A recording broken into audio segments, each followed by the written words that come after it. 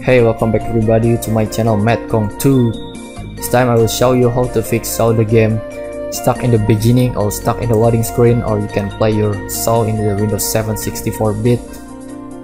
Okay, we're gonna fix it. Let's go.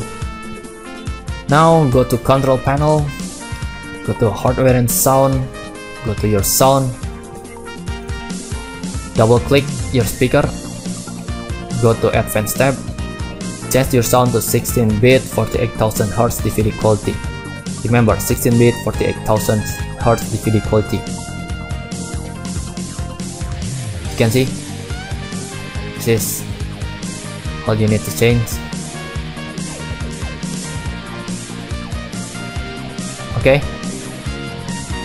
Now click OK, OK, and open your game in your directory pad.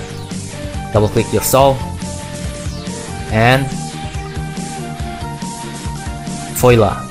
Now you can play the game. I'm Madkong from Tube. Thank you for watching my videos. Don't forget like, comment, and subscribe. See you in my next videos. Okay, now just enjoy your game. Goodbye.